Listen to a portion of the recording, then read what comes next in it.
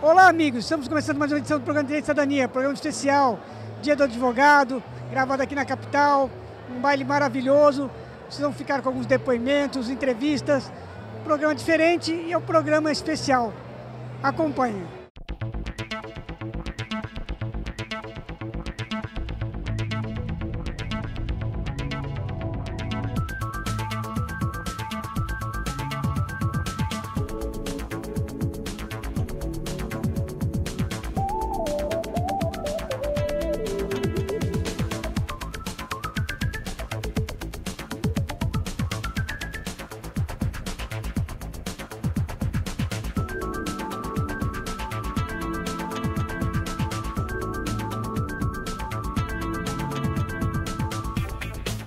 Bem, amigo, hoje, 11 de agosto, baile do advogado, prestigiando o evento da Baixada Santista. Ele está sempre em São Paulo. Carlos Sibeli Rios, grande advogado trabalhista, entende muito de previdência. Vai falar algumas palavras em homenagem ao Dia do Advogado e um pouquinho daquelas informações que todo telespectador interessa na área trabalhista. Bem-vindo ao de Cidadania, Rios. É, boa noite para todos. Realmente essa festa vem coroar o dia do advogado e é importante que cada colega tenha premente as suas prerrogativas para que dê força maior à profissão e aos suplementos dela, principalmente no que tange aos deveres e aos direitos que nós devemos ter em juízo ou fora dele, repartições públicas. Então, cada vez mais as prerrogativas têm que fazer parte do papel do advogado. Não é, e é por isso justamente que o Conselho Federal tem feito caravanas por todo esse país, assim como fez aqui em São Paulo, em Santos, Baixada Santista. Nós tivemos alterações nas leis trabalhistas, Rios, mas as questões trabalhistas as pessoas às vezes desprezam. Uma empresa que recebe uma ação trabalhista e não toma providência, ainda pode quebrar todo um trabalho de anos, às vezes por uma ação, Rios. É, sem dúvida, é, mesmo com a reforma trabalhista, ah, nenhum empregador pode se dar o luxo de deixar de contestar uma ação trabalhista ou deixar correr a revelia, mesmo que não tenha bens ou valores, porque isso no futuro, os efeitos da revelia, eles são muito perversos para o futuro de qualquer pequeno empresário. Então é importante que cada empresário pequeno faça a sua consultoria preventiva e defensiva no momento oportuno.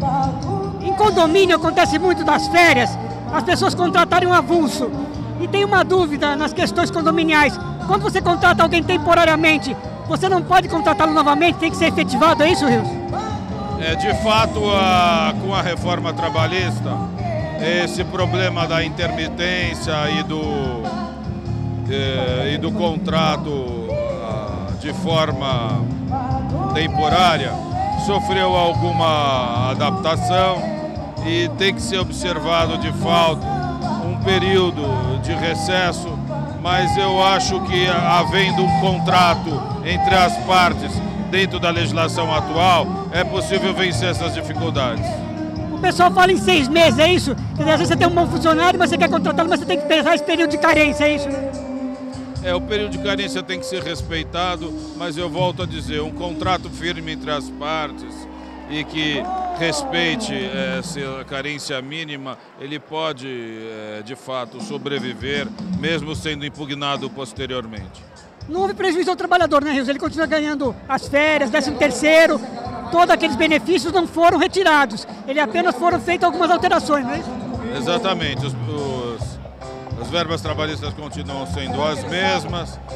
É, com relação à rescisão contratual, agora sim é possível uh, fazer um pacto entre patrão e empregado de forma a ficar mais elástica essa forma de ruptura, né? Então isso aí facilitou também pequenos empregadores E essa seria uma alteração assim substancial. E hoje, aumentou a consulta no teu escritório de empresas com essas dúvidas das modificações? As empresas realmente se preocupam hoje de não sofrer uma ação e ter um prejuízo maior do que aquele que efetivamente seria pagando corretamente? É, de fato, a, a consultoria sempre aumenta mais nessa fase inicial de reforma, mas depois tudo isso vai se acomodando, né? Até porque a assessoria preventiva ela é necessária e ela é importante para evitar que no futuro o empregador é, tenha que se defender por não ter observado alguma reforma que tenha sido contrária aos seus interesses contratuais. Você continua fazendo ações diferentes de FGTS, ações de INSS, Rios? Houve realmente uma demanda menor ou ainda tem o prazo das pessoas entrarem com a ação? Não, o prazo ainda existe e as ações previdenciárias elas estão sendo um pouco mais enxutas atualmente e elas estão obedecendo aos critérios que, já, que o STJ já afirmou no que tange a diferenças de benefícios e forma de cálculo, principalmente. Você atuou muitos anos na área trabalhista. As questões das execuções, houve alguma alteração? Ou o trabalhador ainda continua na mesma situação de tentar localizar bens? Houve uma melhora nessa questão? Não, a parte da execução trabalhista, eu diria que ficou um pouco mais dificultada com os novos, com a nova reforma trabalhista. A execução trabalhista, eu diria que a execução no civil atualmente ela está mais feroz do que na trabalhista. As pessoas às vezes têm dúvida, o processo que o trabalhista arquivando, o trabalhador não perde, né? Desde que ele tenha já a execução em andamento. Ele desarquiva e pode prosseguir. Você fala, ah, arquivou meu processo, eu perdi. Não é assim que acontece, né, Rio? Não, o arquivamento ele só tem que observar esse prazo de dois anos para que não haja o, uh, a ocorrência do Instituto da Prescrição Intercorrente, né? Fora isso, sendo tem que ser observadas diligências para a localização de bens natural como era antigamente. E na questão da hora extra, Rios, quais as mudanças significativas que nós tivemos? É, hoje uma pactuação mais flexibilizada entre patrão e empregado é possível fazer com que as horas extras sejam de fato diminuídas com os pilares da nova reforma. Com as mudanças tecnológicas, questões de e-mail, WhatsApp, eles servem para caracterizar trabalho e talvez dando moral ou não é assim que funciona esse trabalho? Ajudam como indício de prova e, de, e dependendo do detalhe como eles forem se efetivando, o juiz pode inclusive receber como prova oficial mas é importante esses meios da tecnologia atualmente como indícios de prova que o empregado possa ter numa demanda que ele vai fazer futuramente ou num futuro próximo. Né? Em Santos é uma demanda muito grande de trabalhador se movimentando atrás de bicicleta. Quando o trabalhador mora em outra cidade e vai com a sua condição própria uma bicicleta, ele faz jus ao Vale Transporte ou não, Wilson? Ele pode usar Vale Transporte, mas como ele pode também abrir mão do Vale Transporte e uma vez que ele faça isso por escrito, aí ele não vai poder reclamar futuramente de, desse valor para ser pago a título de condução. Então, nós temos que observar que hoje as reclamações têm que ser mais enxutas porque elas não podem se aproximar a quaisquer tipo de lide temerária, né? Uma das mudanças significativas foi a questão das férias, podendo fracionar. Esse foi um avanço, o trabalhador poder tirar um período junto com seus filhos, ou nas férias escolares, dividir as férias. Na verdade, isso veio facilitar para ambas as partes, tanto para o empregador quanto para o empregado. Por empregador, porque ele pode se utilizar desse meio que antes não era previsto na legislação. E para o trabalhador, porque de fato ele pode, se quiser, é, é, flexibilizar esse período, dividindo ele em duas ou três vezes, e aí obter com a sua família um descanso maior nesse período de férias. Família do Rio todo de advogados, o pai, a irmã, Deixa uma mensagem do dia do advogado, Rios. O dia do advogado, de fato, vem trazer a nós uma responsabilidade maior, porque a advocacia continua com os desafios de sempre, cada vez maiores, e a advocacia ela tem que ser preservada como um instituto de defesa do cidadão e porque nós constitucionalmente somos indispensáveis à administração da justiça na própria letra da Constituição. Carlos Rios é um amigo, sempre atuante na OAB São Paulo, na OAB Santos, na Associação dos Advogados Trabalhistas de Santos e São Paulo.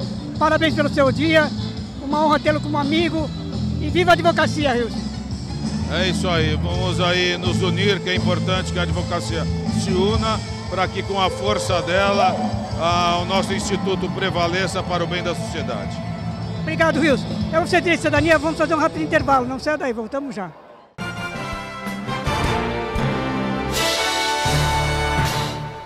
Há nove anos, a BEAC luta para resgatar e dar qualidade de vida a muitos animais vítimas de maus tratos. Cada olhar revela uma história diferente, à espera de uma família.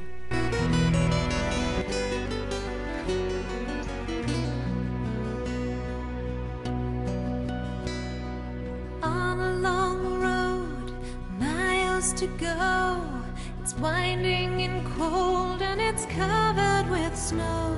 But I ask you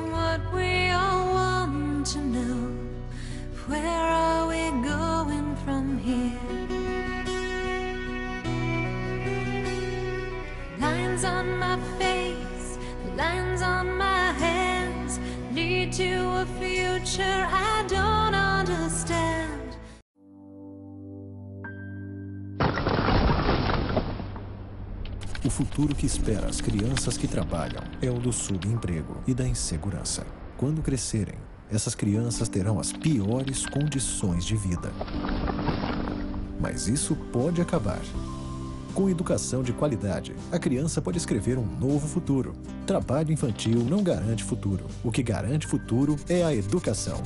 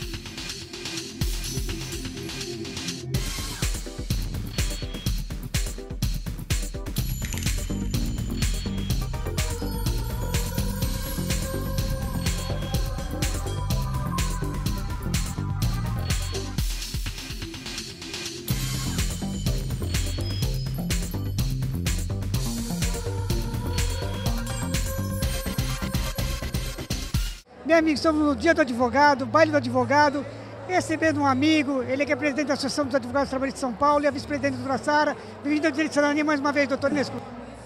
Tudo bem? Boa noite. Eu gostaria de cumprimentar a todos, dizer que tanto eu e a Sara estamos à disposição dos advogados trabalhistas do Estado de São Paulo, da nossa Baixada Santista, para que efetivamente possamos ter trabalhos voltados à classe. A classe aí que sofreu muito com a reforma trabalhista, nesse momento de insegurança, nós da associação, também a Associação Trabalhista de Santos, da minha querida Cátia Loura, queridíssima Cátia Loura, estaremos juntos à disposição dos colegas para, tanto na educação continuada, nos cursos que já fazemos e já passamos na doutora Sara, de 40 cursos, estaremos ao lado dos colegas na luta, na defesa intransigente das prerrogativas dos advogados trabalhistas do Estado todo. Vou dar uma notícia antiga e uma notícia nova. O doutor, já há muitos anos atrás, participou do programa com um grupo de advogados muito alegre, ele vinha com faixa brincando, e atualmente é colega também de apresentação de programa na TV aberta. Quer dizer, novidade e também uma questão de saudosismo, né, Nesco? É, isso é verdade. Nós fizemos naquela oportunidade, você lembra, o Herói da Justiça. A gente consagrou o advogado como o herói da justiça, porque nós somos os protagonistas da justiça. O juiz cumpre a aplicação do, do, do, do, da lei ao caso concreto e nós fazemos justiça, não é, doutora Sara? Sem dúvida. A doutora Sara, uma representante da mulher, hoje a mulher é um número muito mais significativo que os homens, quer dizer, a mulher achou realmente seu espaço merecido, porque realmente é um outro toque, é um outro trabalho, e sem a mulher não somos nada, né, doutora? Quer dizer, muitos amigos meus falam o seguinte, nós estamos amando, amando das mulheres, elas mandam e a gente obedece. Prazer uma vez, receber a primeira vez no programa de cidadania. Obrigada, boa noite a todos, um feliz dia dos advogados, é, dos juristas, a Associação dos Advogados Trabalhistas de São Paulo, uh, está aqui a, a, postos, de portas abertas para todos os advogados, para todas as advogadas.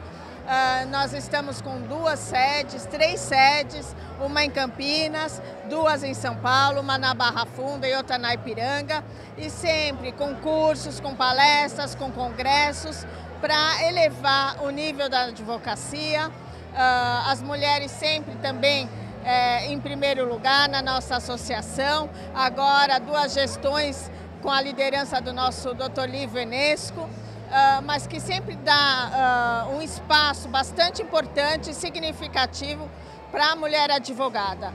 Eu sempre participei das festas da Associação dos Advogados Trabalhistas de São Paulo, tenho vários amigos na diretoria e sempre foram festas animadas, viu? Desde o tempo lá de, de Maresias, quer dizer, são os mais animados, quer dizer, sem desmérito ao, ao AB São Paulo, meus amigos Marcos da Costa, mas o advogado trabalhista sempre foi o mais alegre nas festas. Estou mentindo, doutor Lívio? Isso é verdade. Nós temos uma alegria, né, doutora Sara? Eu acho que é própria de quem faz a relação entre capital e trabalho, quem atua efetivamente buscando a justiça. Eu creio que você acertou efetivamente. Os advogados trabalhistas são muito alegres. Eu queria deixar a Baixada Santista uma manifestação de carinho, pois desde a minha tenridade eu frequentava a minha Santos, São Vicente e toda a Baixada, junto com a minha família. Tínhamos muitos amigos, tanto em Santos como do Guarujá, e eu guardo muito carinho do meu litoral sul, que está sempre no meu coração, né, doutora Zara? E aproveitando o ensejo, já que você falou em festas, nós, nós estamos é, convidando a todos da Baixada Santista para a nossa festa de 40 anos da Associação dos Advogados Trabalhistas de São Paulo. Vai ser um momento histórico, um momento importante, significativo e vai ser uma, uma, uma festa que vai marcar vai marcar a história da Associação dos Advogados Trabalhistas de São Paulo e da Justiça do Trabalho. E como a gente é bom de festa, né, Sara? Ah, nem fale. Você sabe Santos também é muito bom de festa. Eu frequentava as festas do Internacional, do Caiçara, do Clube Inglês e também da, lá, da, da, lá da nossa, do Odácio, qual que é? Lá da...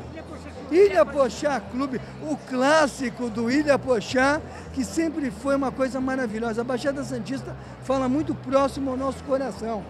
O Ilha Pochá Clube, eu lembro. Lívio, eu vou falar para você, se for convidado eu vou na festa de 40 anos, porque precisamos gravar na sede. Opa! Tem o sindicato, tem o sindicato dos lotéricos, meus amigos lá. Opa. Então é uma honra fazer uma visita naquele prédio histórico que é a Associação dos Advogados Trabalhistas de São Paulo. Muito bacana isso, bem lembrado. Estaremos todos juntos e a Baixada vem para São Paulo para a gente estar junto comemorando, né, Sara? Já tem o dia, doutora Sara? Dia 27 de setembro, vai ser no buffet Vila Bizuti, na Vila Olímpia. Uh, vai ser uma festa com jantar, com muita música, com muita alegria. Vamos também, é, vai ser uma festa que vai resgatar a memória da Associação dos Advogados Trabalhistas de São Paulo. Uh, lá todos vão estar. Uh, os ingressos ainda não começaram a ser vendidos, mas já para o próximo mês estarão à venda no nosso site. Só mandar o um e-mail, doutor Enescu, é nosso colega também de TV, faremos a divulgação. Obrigado, viu? Muito obrigado Muito a você pela oportunidade, pela generosidade de nos conceder um espaço tão importante como esse. Boa noite a todos, muito obrigada e sejam bem-vindos à Associação dos Advogados Trabalhistas. Quero agradecer ao Walter por essa camisa do São Paulo que ele está dando, do líder São Paulo. Parabéns. Walter é queridíssimo. Parabéns tá pelo dia do advogado. Conosco. Uma mensagem para o advogado do dia do advogado. Essa profissão maravilhosa, apaixonante. É uma profissão do bem, é uma profissão de procurar fazer o bem para o próximo. por isso que a gente comemora tanto. É o nosso dia, mas é o dia da cidadania também. Obrigado, Marcos. Parabéns para você e para nós todos os colegas advogados. Obrigado, querido. Abraço.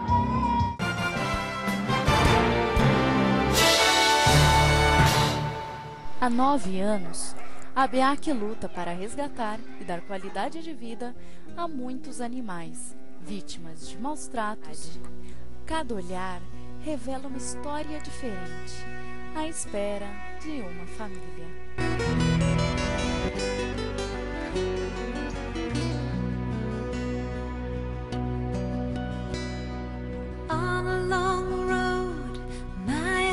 Go. It's winding and cold and it's covered with snow. But I ask you what we all want to know. Where are we going from here? Lines on my face, lines on my hands lead to a future I don't understand.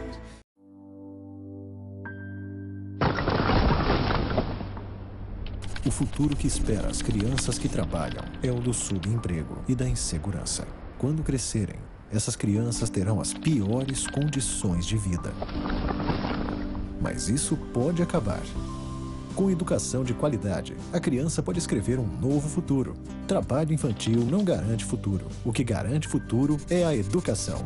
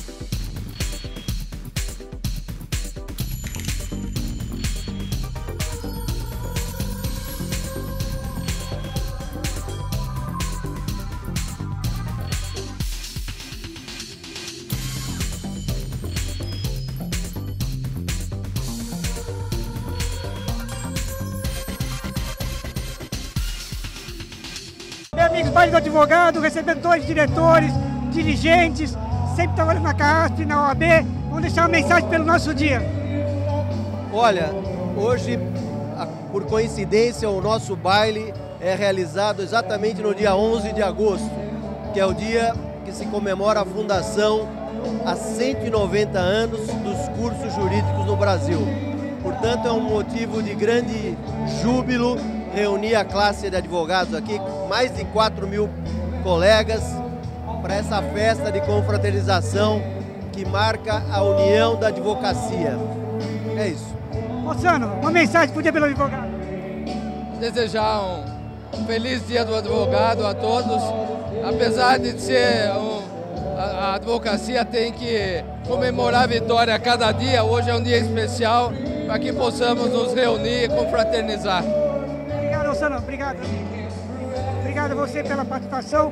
Sempre uma honra entrevistá-lo. É um grande prazer, nós como diretores da CAASP, da Caixa de Assistência dos Advogados de São Paulo, temos um grande orgulho de acolher todos os advogados, advogadas em nossa casa. Moçano, fazia tempo que eu não te encontrava, mas é uma honra sempre entrevistá-lo. Obrigado, parabéns pelo seu dia também. Eu que agradeço, apareça sempre aí. Parabenizar todos os advogados aqui do nosso estado de São Paulo, do nosso Brasil, para que a gente continue tendo sempre garra, sempre força para lutar por ideais de justiça, igualdade. Parabéns a, a nós todos. Renata, sempre, sempre em prol do advogado, sempre acompanhando o Rodrigo Lira com os filhos. É uma luta árdua. Eu queria que você deixasse uma mensagem também pelos teus anos de trabalho, pelo teu marido maravilhoso, meu amigo de muitos anos, pela amizade que nós temos com a família. Então, estamos aqui né, prestigiando os advogados e nesse dia 11, né, que é calhando de ser justamente no dia do advogado, e parabenizando todos os advogados nessa, nessa é, árdua é, profissão, né, muito difícil, principalmente hoje em dia, né? Então, parabenizamos todos os advogados dessa noite tão bonita. Obrigado, Renata. Obrigado, Érica.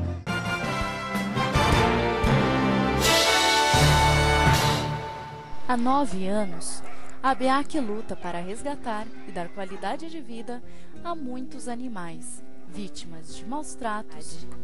Cada olhar revela uma história diferente, à espera de uma família.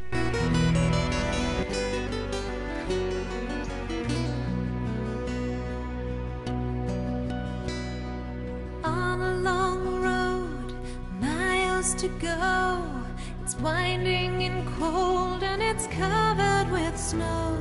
But I ask you what we all want to know.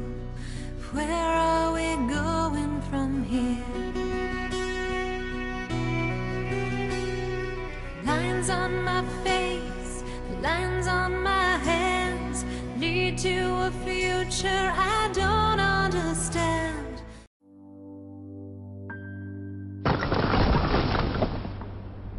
O futuro que espera as crianças que trabalham é o do subemprego e da insegurança. Quando crescerem, essas crianças terão as piores condições de vida. Mas isso pode acabar. Com educação de qualidade, a criança pode escrever um novo futuro. Trabalho infantil não garante futuro. O que garante futuro é a educação.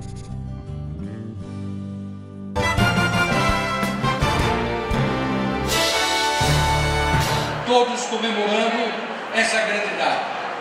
A data da advocacia e a data da cidadania. Parabéns a todos, sejam muito bem-vindos, que tenhamos todos um grande baile, sempre a comemorar a paixão nossa pela advocacia. Viva o 11 de agosto! Viva a advocacia!